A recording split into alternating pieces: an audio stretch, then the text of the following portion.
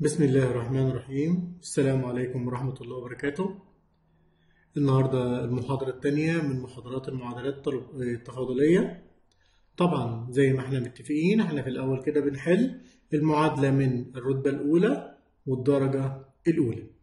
اتكلمنا في المحاضرة اللي فاتت على إزاي نحل المعادلة باستخدام فصل المتغيرات.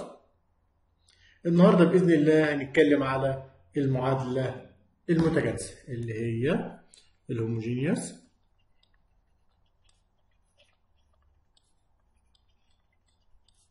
equation.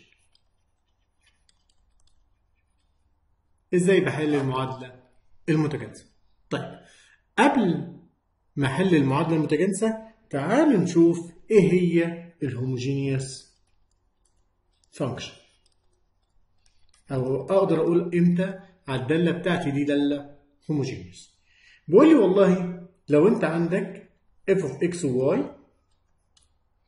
وشلت كل x وحطيت مكانها لامدا x وشلت كل y وحطيت مكانها لامدا y. يبقى شلت كل x وحطيت مكانها لامدا x وشلت كل y وحطيت مكانها لامدا y.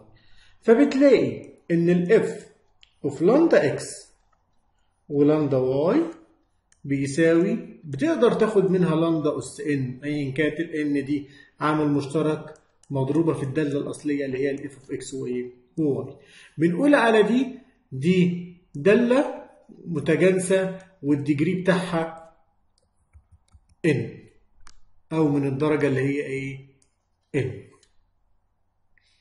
يبقى ده معناها أو ده شكل أو ده تعريف المعادله الدالة المتجانسة الدالة المتجانسه ممكن ناخد كده مثال أو اتنين كده بسيط كده نعرف يعني إيه داله متجانسه يعني مثلا لو بديني هنا مثال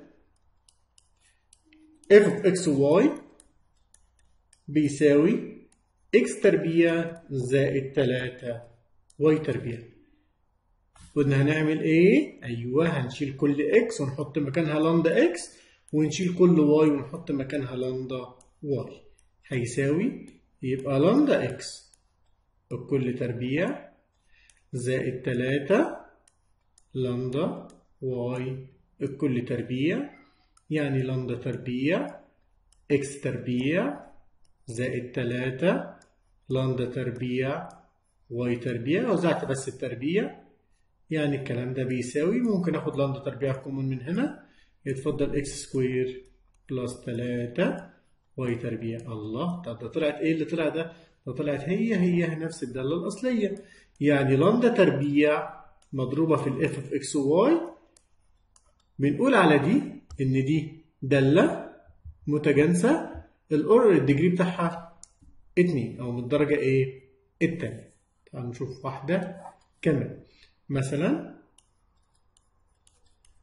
f of x y بيساوي e أس ناقص ال y على ال x زائد tan اتنين y على ال x. هنعمل إيه؟ أيوة سامعك بتقول لي هنشيل كل إكس ونحط لامدا إكس ونشيل كل واي ونحط مكانها لامدا واي. يبقى ال f of لامدا x ولامدا y.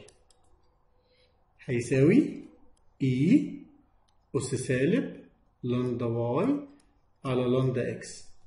زائد tan اتنين أشيل y وأحط لامدا y على لامدا إيه؟ x. في اختصارات أه أنا شايف إن في اختصارات في المسألة بتاعتي. يعني ممكن أشيل لامدا دي مع اللامدا دي ممكن أشيل لامدا دي مع اللامدا دي. يبقى هنبص كده اللي حصل هنلاقيها بترجع للدالة الأصلية تاني. يعني ده يساوي e أس ناقص y على ال x زائد tan 2 y على ال x يعني رجعت لأصلها اللي هو f of x و y يعني هنا المفروض دي تبقى لامدا أس كام؟ لامدا أس صفر لأن هي حاجة والصفر بإيه؟ بواحد يبقى دي متجانسة من الدرجة إيه؟ من الدرجة الصفرية ده ببساطة معنى الدالة المتجانسة طب إيه هي بقى المعادلة التفاضلية المتجانسة اللي هي الهوموجينيوس differential equation. إيه هي المعادلة التفاضلية المتجانسة بيقول لي هنا لو أنا عندي معادلة تفاضلية وليكن f of x y dx زائد g of x y dy بيساوي صفر. بيقول لي دي هتبقى معادلة تفاضلية متجانسة إذا كان دي متجانسة ودي متجانسة والاتنين متجانسة من نفس إيه؟ من نفس الدرجة. يعني دي لو من التانية يبقى من التانية. خلاص؟ يبقى الاتنين يكونوا متجانسين من نفس الدرجة. يبقى هي ده تعريف المعادلة التفاضلية المتجانسة. يعني كل term هنا سواء ده أو ده ده هو المتجانسة من نفس الدرجة طيب أنا بحاول هنا نحول المسألة دي ل dy على ال dx بيساوي دالة في ال y على ال x خلي بالكم هنتعلم برضو بنخليها المسألة دي كلها أو ال dy by dx إزاي كلها تبقى دالة في ال y وال x أول ما تظبط المسألة بتاعتك كلها إن ال dy by dx الطرف التاني كله متظبط y على ال x دالة في y على ال x بنعمل إيه؟ بناخد تعويضة بسيطة إيه هي التعويضة؟ بنقول هنا let y أي رمز وليكن sorry z أو u خلينا شغالين مثلا u بيساوي y على ال x هي دي التعويضة اللي هاخدها طيب يبقى ال y هنا بيتساوي إيه؟ ux طيب بدل انت قلت ال y بيساوي دي ux يبقى أنا هنا هبدأ اشيل كل y على ال x في المسألة واحط مكانها u يبقى لازم برضو اتخلص من ال dy by dx يعني احول المسألة بتاعتي بدل ما كانت ال y وال x لا هتبقى u و x يبقى بدل ما كانت مسألة y و x هتبقى مسألة u و x يبقى لازم اتخلص من ال dy على ال dx يبقى ال dy على ال dx بيساوي أشتق دول بنشتقهم إزاي حصل ضرب دالتين. مشتقة الأولى في الثانية زائد الثانية أو الأولى في مشتقة ال x بكام؟ بواحد. أهو مش هكتبها يبقى حصل ضرب دالتين بثبت واحدة وأفضل الثانية. زائد العكس. يبقى مشتقة الأولى du by dx في الثانية اللي هي ال x. زائد الأولى بتثبت واشتق ال x بكام؟ بواحد. يبقى أنا هم دول اللي أنا هستخدمهم. طيب هو أنت لما بتعمل التعويضة دي في المعادلة المتجانسة إيه اللي بيحصل؟ بسيطة خالص المعادلة بدل ما اسمها متجانسة هلاقيها بتتحول لي لفصل متغيرات. اللي إحنا اتكلمنا عليه في المرة اللي فاتت. تعالوا نشوف مسائل على الكلام اللي أنا بقوله. مثال. بيقول لي solve دي واي على دي إكس هيساوي واي تربيع زائد إكس تربيع على 2 إكس واي دي معادلة متجانسة؟ آه معادلة متجانسة طيب بنعرفها إزاي؟ ادي الواي تربيع ادي إكس تربيع إكس هنا من الدرجة الأولى و y من الدرجة الأولى مجموعهم يبقى الاثنين من الدرجة الثانية يبقى 2 2 2 كل term هنا في البسط والمقام من الدرجة الثانية فايه ده هتطلع معادلة متجانسة. طيب هبقى أحل إزاي المعادلة المتجانسة؟ أول حاجة بتقسم على أكبر أس للإكس اللي هو إكس تربيع في البسط والمقام. هنقسم على أكبر أس ليه؟ عشان عايز أحصل عليها في شكل دالة y على ال x. يبقى الدي واي على الدي إكس هيساوي واي تربيع على إكس تربيع زائد إكس تربيع على إكس تربيع كل ده على 2 إكس واي على الاكس تربيع يعني نقدر نقول إن ال dy على ال dx بيساوي. y على ال x بكل تربيع أهو. لأن هنا ده يتضرب في الاس اللي فوق يبقى 2 في 1 ب 2 و2 في 1 ب 2 زائد إكس تربيع على إكس تربيع بواحد. على 2 طبعا ال x دي تروح مع التربيع اللي تحت يتفضل واحد يبقى يتفضل إيه؟ y على ال x يبقى أنا خليت ال dy على ال dx كدالة في إيه؟ في ال y على ال x طيب كنا بنعمل إيه بعد كده؟ كنا بنشتغل التعويضة بتاعتنا. كانت بتقول إيه التعويضة بتاعتنا يا شباب؟ بتقول لي هنا let u بيساوي الواي على الاكس يعني الواي بيساوي يو في الإكس. أشتق بالنسبة ل x يبقى ال dy على ال dx بيساوي x du على ال dx زائد ال u. يبقى أنا هستخدم ده للطرف الشمال وده بستخدمه في التعويض بتاعت الطرف اليمين. تعالوا يا شباب نعوض في المعادلة اللي قدامنا اللي هي إيه؟ اللي هي دي. أشيل ال dy على ال dx وأحط قيمتها. x du على ال dx زائد ال u بيساوي شرطة الكسر. y على ال x ب u يبقى u تربيع زائد الواحد تحت 2 u ماشي لغايه كده تمام. المفروض المسألة دي اتحولت لفصل متغيرات. يعني إحنا هنبدأ نجيب ال x في عيلة مع بعض والايه وال u مع بعض. نبص كده. أول خطوة بعملها بعد ما أعمل دي ال u دي أوديها الناحية الثانية بإشارة مخالفة يعني بإشارة سالب يبقى عندي x du على ال dx هيساوي. u تربيع زائد الواحد على 2 u ناقص ال u يبقى أنا كده هبدأ واحد المقامات. طبعا المقام ده بتاع واحد يبقى أنا واحد المقامات على 2 u.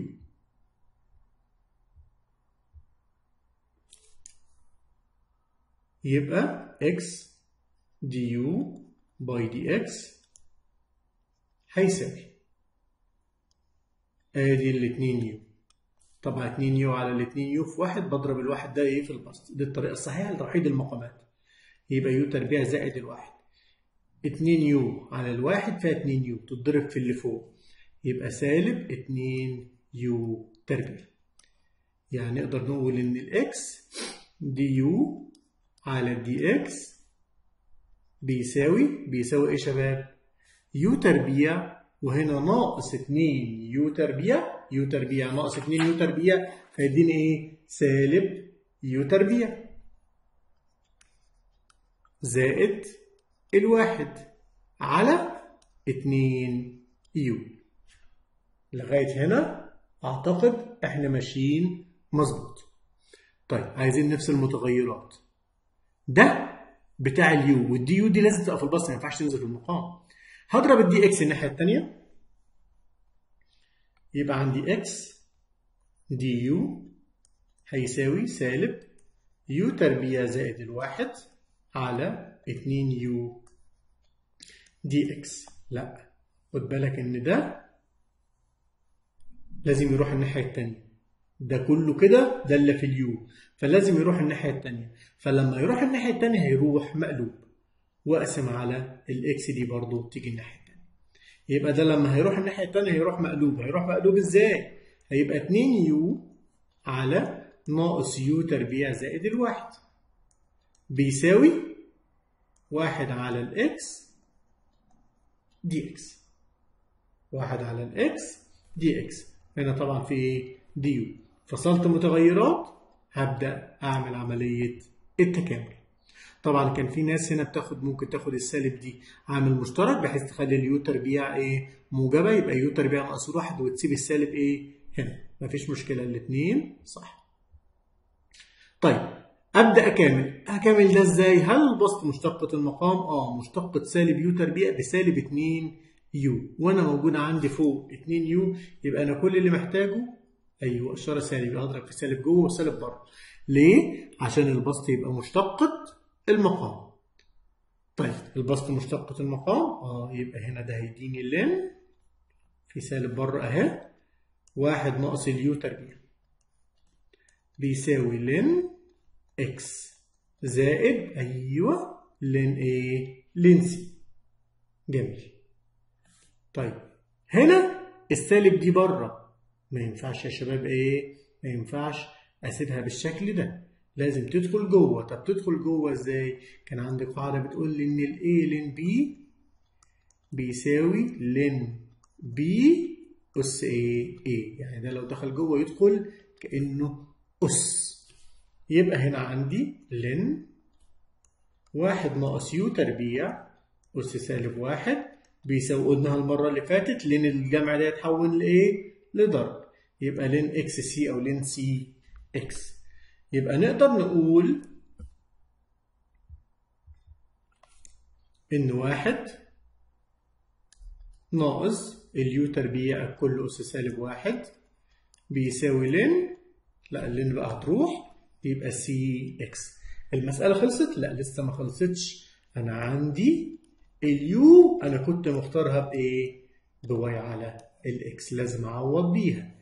يبقى هنا واحد ناقص y على ال x الكل تربيع أس سالب واحد بيساوي c x أو ممكن أكتبها واحد ناقص y على ال x الكل تربيع بيساوي واحد على c x مفيش مشكلة. الاتنين صح. أتمنى إن أنتوا تكونوا فهمتوا المسألة. تعالوا نشوف مسألة كمان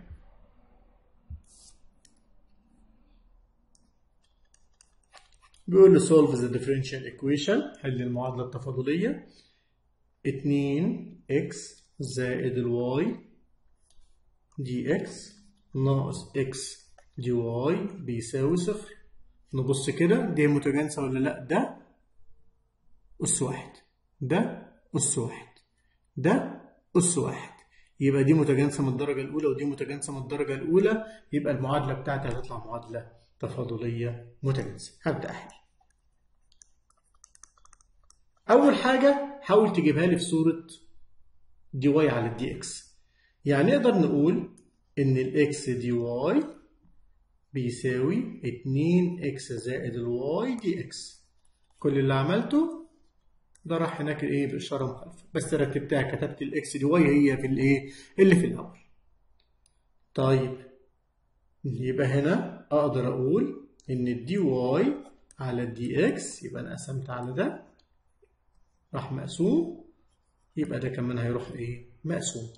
يبقى 2 x زائد y على ال x أكبر أس هنا فين؟ آه للاكس للاكس إكس أس واحد. قلنا بسطا وإيه؟ ومقاما. بقسم فوق وتحت. يبقى الدي واي على الدي إكس هيساوي 2 إكس على الاكس يبقى الاتنين زائد واي على الاكس إكس. على الاكس بواحد. يعني نقدر نقول يا شباب إن ال dy على ال dx بيساوي 2 زائد ال y على ال x ادي المعادلة بتاعتي dy على dx بقت دالة في إيه؟ دالة في ال y على ال x طيب المفروض أنا أعمل إيه دلوقتي؟ أبدأ التعويضة بتاعتنا. فاكرينها؟ تعالوا نفتكرها مع بعض.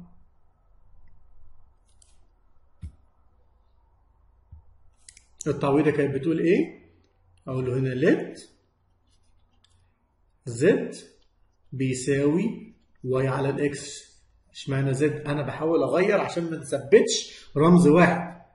يعني الواي هيساوي إكس في الزد. يبقى ال dy على ال dx هيساوي x dz على ال dx زائد ال z. ها مشتقة الزد والإكس أهو بيثبت وبعدين إيه؟ أبدأ أبدل. اولى في مشتقة الثانية زائد الثانية في مشتقة الأولى. طيب. التعويضة دي هبدأ أعوض ده في الجنب الشمال وده في الجنب إيه؟ اليمين. يبقى أبدأ أشيل dy by dx وأحط قيمتها x dz على ال dx زائد ال z بيساوي اتنين زائد ال z. الله ما ال z دي هتروح الناحية التانية بإشارة إيه؟ سالبة. يعني نقدر نقول إن ال x dz على dx هيساوي اتنين زائد z ناقص z الاتنين دول راحوا إيه؟ مع بعض. طيب حلو قوي دي كده بقت المسألة جميلة جدا جدا وسهلة.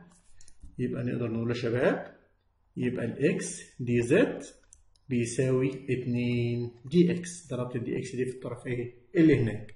كده انفصلت متغيرات. لا لسه لسه لسه. أهي. دي تروح الناحية الثانية تروح إيه؟ مقسومة. لو مضروبة تروح مقسومة مجموعة تروح بإشارة مخالفة. يبقى ال dz بيساوي 2 واحد على ال x dx. طب ليه ما خليتهاش 2 على ال x؟ لأن أنا هعمل تكامل وأنا متعود دايما في التكامل بطلع الثابت بره ايا كان عشان ما اتلخبطش. خلصت هنا يبقى هبدأ عملية إيه؟ التكامل.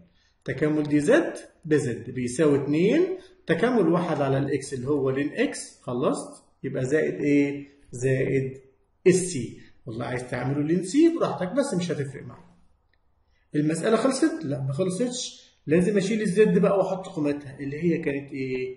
y على ال x بيساوي 2 ln x زائد ال c يعني نقدر نقول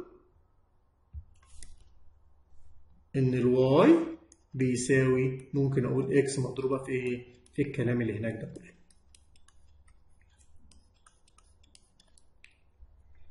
يبقى الفكرة بتاعت المعادله المتجانسه فكرة بسيطة. طيب هي كل مسائل هتبقى سهلة؟ لا. نصبر بقى. نحاول ننوع في المسائل بتاعتنا.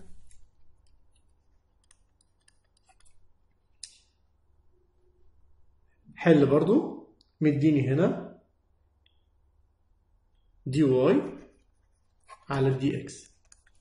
ناقص y على ال x بيساوي tan y على ال x في المعادلة المتجانسة تأكد إن هو لو جاب لك ال tan sine cosine دول الزوايا بتاعتهم هتبقى متظبطة جاية لك في شكل واي على الاكس أو واي على الاكس أس كذا أو جذر واي على الاكس المهم هتبقى دالة في الواي على الاكس نفس الكلام في الاي نفس الكلام في الاي هتبقى اي أس واي على الاكس ليه؟ لأن لما تعوض باللاندا فوق وتشيل ال x وتحط lambda x وال y lambda y بتلاقي الاثنين راحوا إيه؟ مع بعض.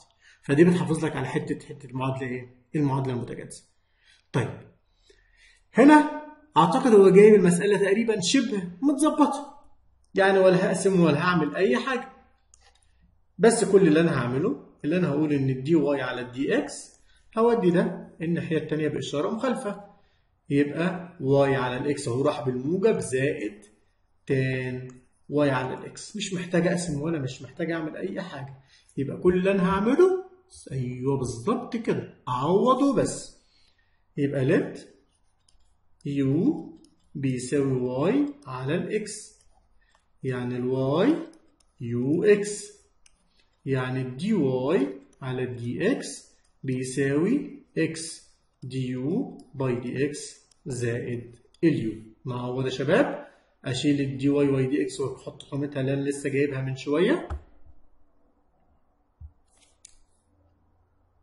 يبقى x du على dx زائد ال u. بيساوي أيوه ده u زائد tan u.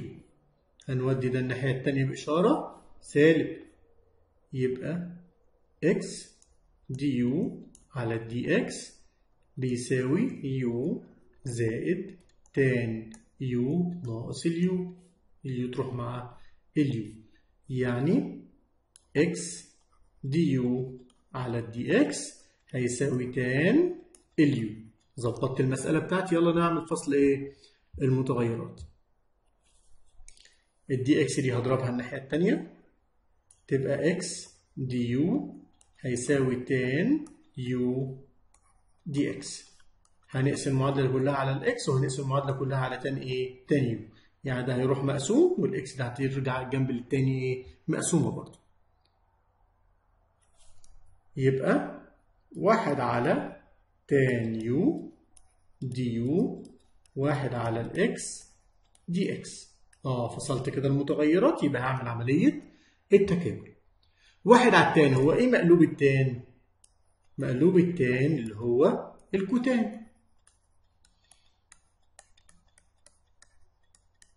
هو كان تكامل ال cotan إيه؟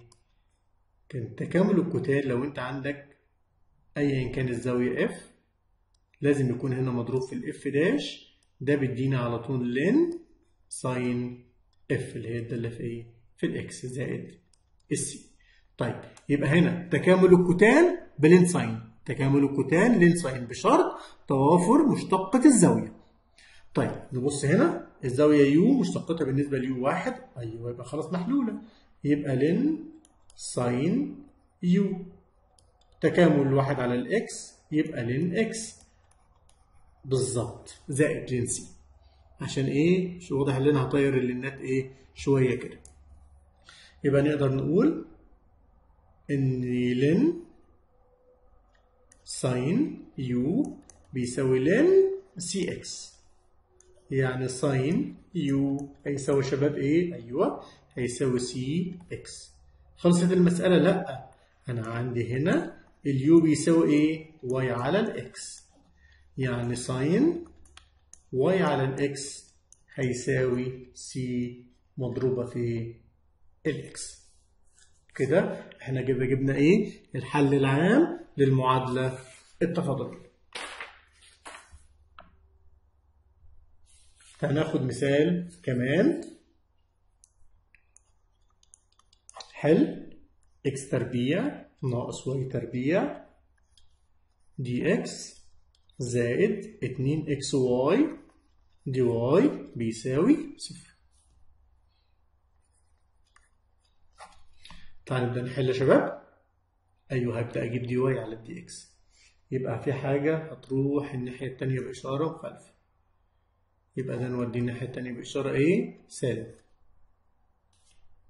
يبقى اتنين x y dy بيساوي سالب x تربيع ناقص y تربيع dx.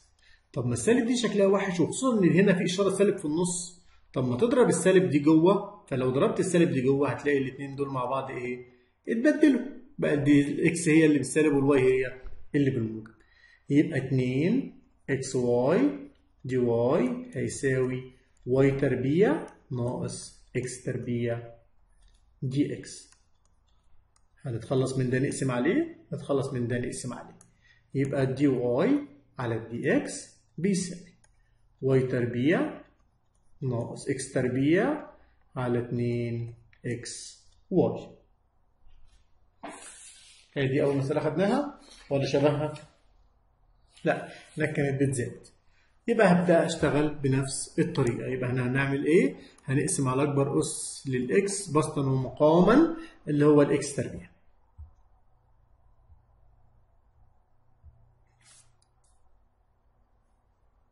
يبقى dy على ال dx لما أقسم على ال x تربيع تبقى y على ال x الكل تربيع ناقص واحد.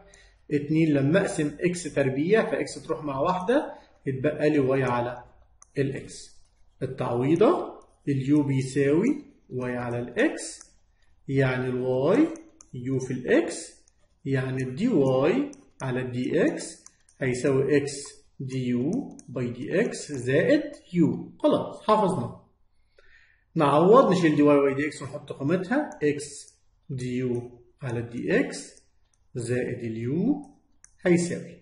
شرطة الكسر u تربيع ناقص واحد وتحت اتنين u بالظبط نحاول نتخلص من u دي. تروح الناحية التانية بإشارة سالب.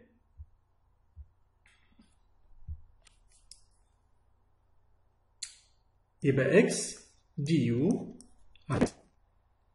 بيساوي u تربيع ناقص الواحد على 2 u ناقص ال u نوحد المقام على 2 u تبقى فوق u تربيع ناقص واحد زي ما هي. طبعا المقام ده بتاع ده واحد. فده يديني سالب 2 u إيه تربيع. يعني نقدر نقول إن ال x du على ال dx نبدأ نجمع البسط. سالب واحد سالب u تربيع أنا عندي u تربيع بالموجب وناقص 2 بالسالب. و2 بالسالب. واحدة بالموجب و2 بالسالب. يعني دي سالب u تربيع على 2 u.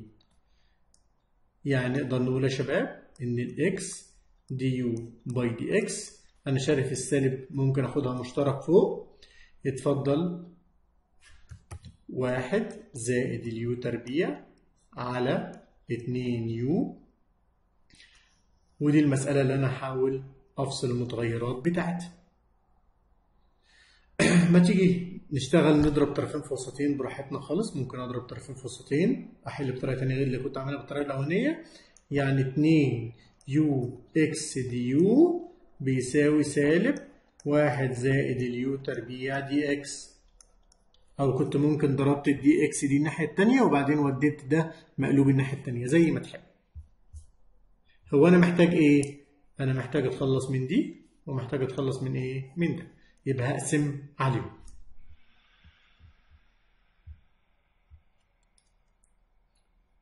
يبقى هنقسم عليهم. يبقى 2 u على 1 زائد ال u تربيع. du سالب. هقسم بقى هناك على ال x dx. أكامل طبعا هنا البسط مشتقة المقام مش محتاج أضرب في أي حاجة لأن مشتقة ال u تربيع ب 2 u. يبقى لن 1 زائد اليو تربيع هيساوي سالب لن إكس أيوه لن سي. يعني لن واحد زائد u تربيع لأن الطرح بيتحول لإيه؟ للقسمة. يبقى c على ال x يعني نقدر نقول إن الواحد زائد ال u تربيع بيساوي c على إيه؟ على ال x خلصت المسألة ولا لسه ما خلصتش؟ لا المسألة بتاعتنا لسه ما خلصتش. ليه؟ آه لازم أعمل التعويضة بتاعتي. أو أرجع المسألة لأصلها. ما يبقاش هو مديني مسألة x و y وأنا أطلع له مسألة x و u لا لازم أطلعها له x و y يبقى أنا عندي هنا ال u بيساوي على ال x يبقى واحد زائد y على ال x بكل تربيع بيساوي c على ال x عايز تجيب ال y في طرف لوحدها والباقي مفيش مشكلة.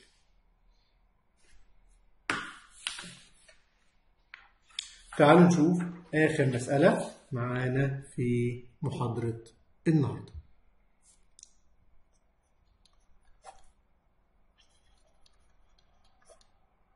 بيقول لي إيه؟ دي واي على دي إكس هيساوي هيساوي يا شباب؟ 2 إكس زائد الواي على إكس ناقص 2 واي اي كتب اي يبقى لو متجانسة نتوقع إن لازم يبقى إيه؟ واي على الاكس أهي دي من الدرجة الأولى دي من الدرجة الأولى دي من الدرجة الأولى دي من الدرجة الأولى. واي على الاكس كده كده الاثنين إيه؟ مع بعض إيه؟ مش هتأثر. ليه؟ لأن دول خلاص بيظبطوا بعض في حتة المعادلة المتجانسة اللي إحنا قلناها في إيه؟ في أول الفيديو النهارده. طيب هبدأ احل أكبر اس في البسط والمقام للإكس إكس اس واحد. يبقى هقسم بسطا ومقاما على ال x. فوق وتحت. يبقى ال dy على ال dx هيساوي. 2 إكس على إكس بواحد. واي على الاكس إكس. على إكس بواحد. ناقص 2 هقسم على ال x أهو. e اس y على ال x طيب. Let يو بيساوي واي على الاكس واي يو في الاكس حفظناه ولا لسه؟ يبقى d على ال dx هيساوي du by dx زائد ال u نعوض يبقى du على ال dx زائد ال u بيساوي اتنين زائد ال u واحد ناقص اتنين u e أس u. شلت كل y على ال x وحطيت مكانها u. أنا شايف ال u دي زي ما بعمل كل مرة تروح الناحية التانية بإشارة مخالفة.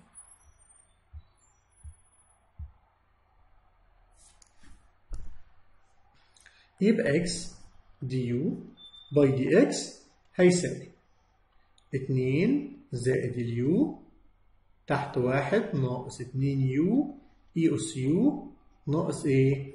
ناقص ال u طبعا نوحد المقام على واحد ناقص اتنين u e اس u يبقى فوق اتنين زائد u لأن هي هي المقام بتاعها ناقص ال u دي هتتضرب في الأولاني وناقص u هتتضرب في إيه؟ في التاني يبقى ناقص u ناقص تبقى زائد اتنين u تربيع e اس u يبقى أنا كده ضربت ناقص ال u ده يا شباب في واحد ناقص اتنين u e أس u ده اللي أنا عملته اداني الكلام ده. يعني نقدر نقول إن ال x du على ال dx هيساوي. أنا مش شايف إن ال u دي تروح مع ال u دي. يبقى اتنين زائد اتنين u تربيع e أس u تحت واحد.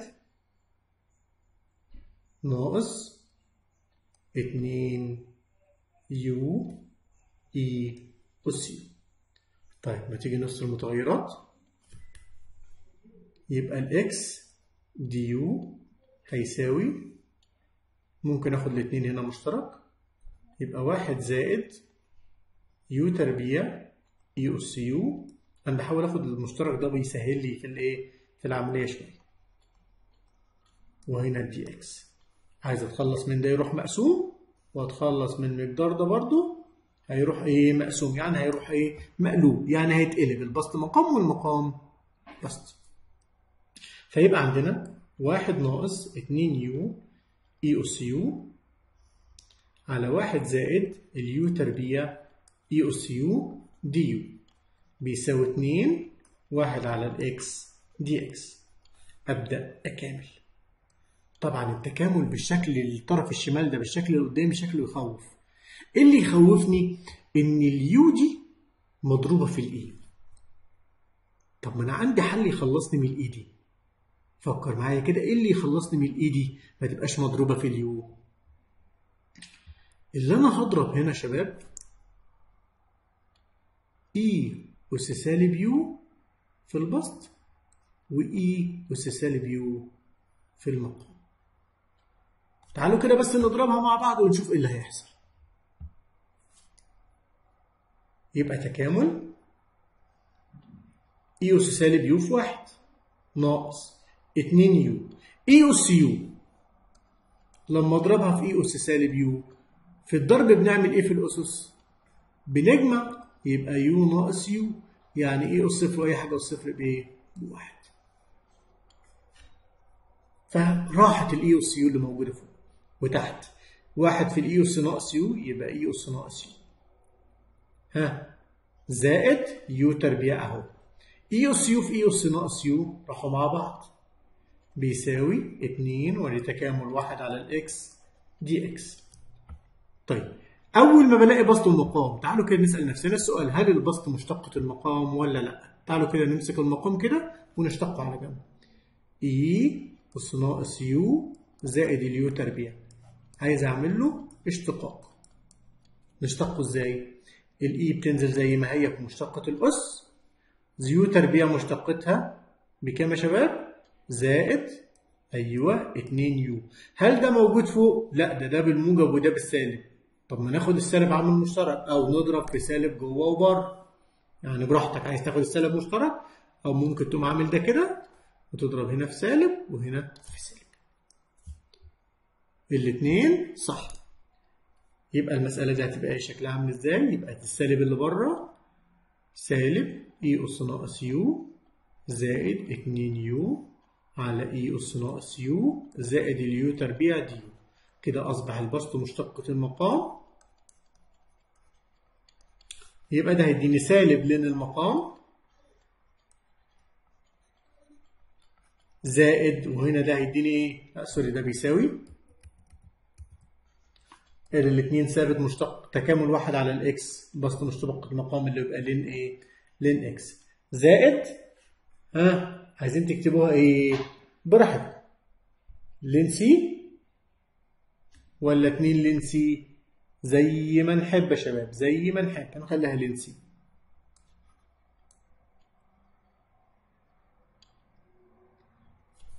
خلاص؟ طيب عايزين نبسطها شوية. قلنا السالب دي تخش جوه يبقى أس يبقى e أس ناقص u زائد u تربيع. اس سالب واحد وادي ال ln بيساوي طبعا ده هيساوي ln. دي طبعا تخش جوه تبقى x تربيع يبقى c x تربيع. عملتها أنا بسرعة المرة دي المفروض كنت أعملها على الخطوتين الاثنين الأول دخلت جوه. ال ln بقت ln x تربيع زائد ln c و ln الجمع بحوله لايه لضرب كده أقدر أتخلص من ال ln. أقدر أقول يبقى ال e اس ناقص u زائد ال u تربيع. اس سالب واحد بيساوي ال ln خلاص راحت. يبقى c x تربيع. ممكن بقى الوقت تشيل ال u وتحط قيمتها. يبقى e اس ناقص واي على الاكس زائد واي على الاكس بكل تربيع أس سالب واحد بيساوي c x وكده جبنا الحل العام للمعادلة بتاعتنا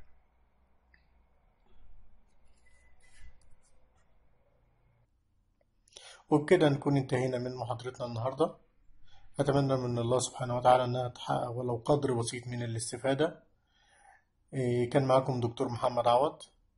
ممكن تواصلوا معايا عن طريق الإيميل الموجود قدامكم دلوقتي أو عن طريق صفحتي على الفيسبوك اللي واضحة على الشاشة طبعا بحب أتوجه بخلص الشكر والتقدير للأستاذ الدكتور طه مرسي العدوي اللي سمح لي إن أنا أستخدم المسائل الموجودة في كتابه مقدمة في المعادلة التفاضلية. شكرا جدا دكتور طه.